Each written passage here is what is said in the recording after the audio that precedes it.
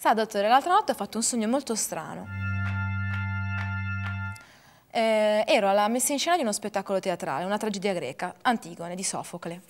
E ad un certo punto inizia lo spettacolo con la rappresentazione di Tebe in maniera molto pop. A questo punto entra Antigone in scena. Da di matto, vuole ridare la sepoltura al fratello, vuole andare da Creonte, ma Ismene va da lei. Va da lei e trasforma Antigone in una creatura eterea. Va lo stesso al campo di battaglia e seppellisce il fratello. Dopo che ha seppellito il fratello, chiude gli occhi. E quando li riapre, vede di fronte a sé delle sculture stravaganti. Però viene scoperta e la portano davanti a Creonte. Antigone a questo punto fa, proclama il suo discorso a Creonte in una maniera molto strana, senza parlare, senza urlare, senza sbraitare.